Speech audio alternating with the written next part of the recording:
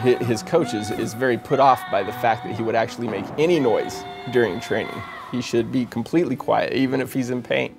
They expect kids to be in pain, but they don't expect kids to express that pain.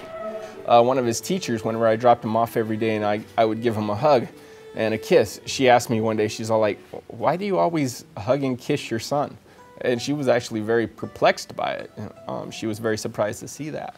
But I explained uh, all American parents, whenever they drop their kids off, they give them a hug and a kiss. That's what we do. So.